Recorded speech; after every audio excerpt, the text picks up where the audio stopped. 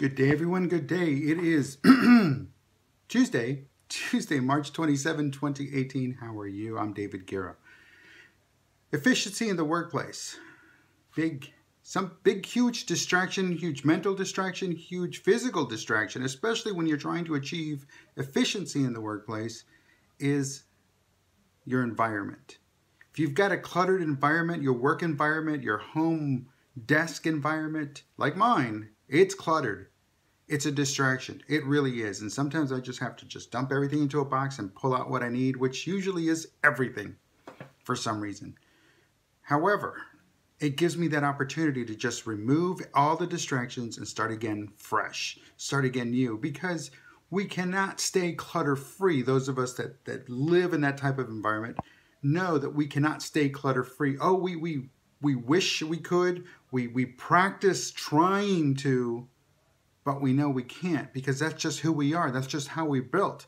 So I'm not saying you have to go and change yourself, but what I am saying is every once in a while, start fresh.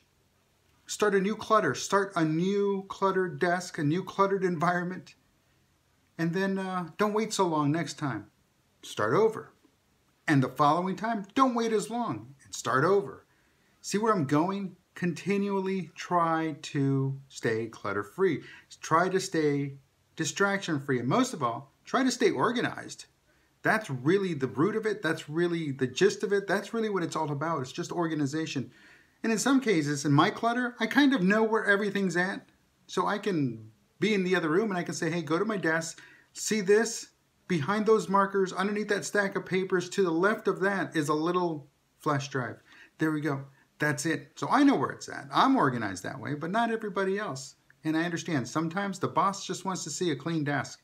So that might be the time to go ahead and declutter and start all over again. Folks, my name is David Guerra. I'm talking about efficiency in the workplace, and I will talk to you tomorrow.